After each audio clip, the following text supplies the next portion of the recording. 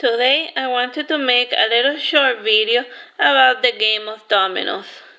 Dominoes is like was like a very popular game back in the old country and we used to play it at parties and so forth. We have like whenever like folks would visit our house we always take out the little domino set. So you dominoes you can either play it like uh, dominoes at most is usually played with like uh, four people, but if you have more folks, you can just uh, spread the pieces out more. Alright, that was a little loud. So yeah, this is how your standard domino set looks like.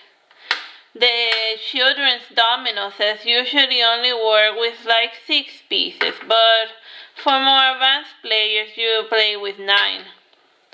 In each of the standard domino games, each, play, each player picks up a random piece that they cannot see, and the person who has the highest number is the one who gets to go first. When you start a domino game, you just you have to throw out a double piece, like so and then other folks will then and then other players just have to match it at the start of the game you can start you can like form a line. You can make a more four lines. Mm. uh, let's see. Ah here we go. There four lines like that and then you can either just put the pieces this way or that way.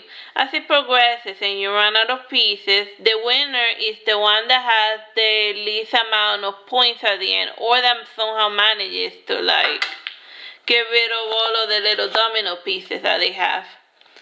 Each player has to get the same number of pieces, but as with everything, there's ways to get around that. It is cheating is very common in the game of domino because it's really not play for money, just for fun.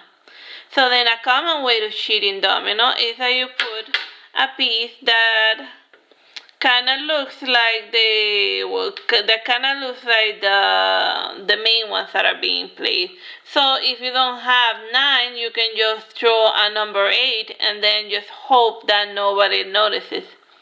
This cheating is also easy, very easily done with the number 5 because and the number 4 because the brain has the bad habit of filling in the gaps. So you can go several games of domino just cheating your way to win and then like the brain just autofills the information and nobody notices. So if you don't notice if like the other players don't notice then technically the cheating never happened because you only cheat if you get caught. Another popular way of to cheating domino is that they say that the game is gonna be played with 10 with 10 pieces. There. But then by spacing out the pieces in your board enough, you can kind of like wiggle yourself into playing with less pieces. So that gives you an advantage in, for, in order to progress the entire game. Mm, though, it, though sometimes even with all of the cheats in the world, there just happens to be folks that manage to win without cheating. And then when that happens, you're just like, whatever aside from like just playing regular domino. You can another fun thing that you can do with it is just to like just stack them together and hopefully you make a wobbly stack and the taller you make it the more fun it is. That's another way that little kids play with dominoes. Another fun thing you can do with dominoes is just to like you angle them together in order to make a nice little fun visual gag. You can take as long as you need, but sometimes you just tend to mess it up and then it ends up being short. And then if you were gonna make a video of it then like if they deploy early you just wasted a lot of time in your life. But depend but as, but what's um, but what's important is that you have fun while playing dominoes.